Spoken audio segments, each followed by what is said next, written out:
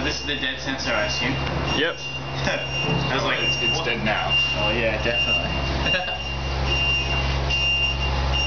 Looks good.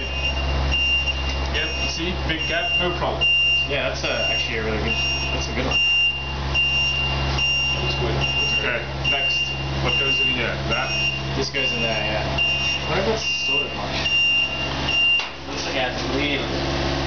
Uh, this side here. Yeah, there's a no, there was a line there. yeah. I don't know. Give it about 10 mil. How about that? That'll do. Does it matter which way the thing's facing?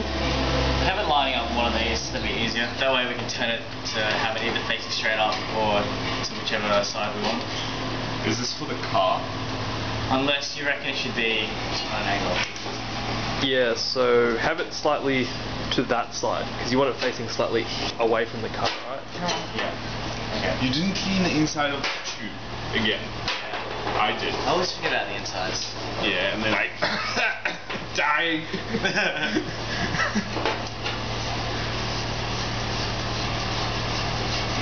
Looks good though. It's very colourful. Brilliant. Yes. Like the rainbow. I wonder if this will